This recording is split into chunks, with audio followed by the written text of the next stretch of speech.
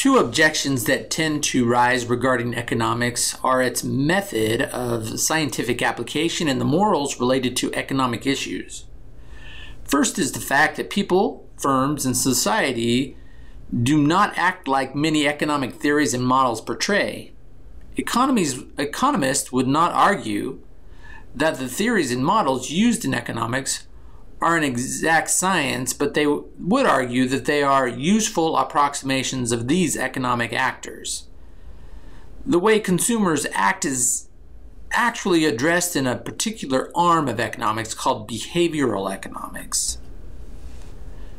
The second objection raised is regarding the morals associated with economic theories and models.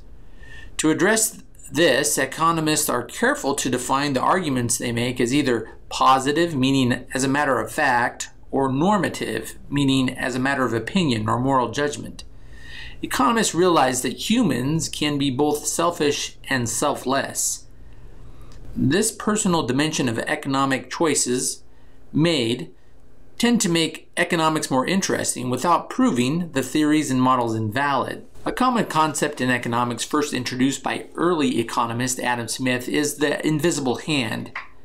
The basic idea is that consumers and producers of goods meet in the market and decisions are made there like the price of the goods and the quantity bought and sold without any central planning necessary. The market is controlled by what Smith coined the invisible hand. This concept alludes to the abilities of markets driven by selfish interest to bring about benefits to society with no intervention needed.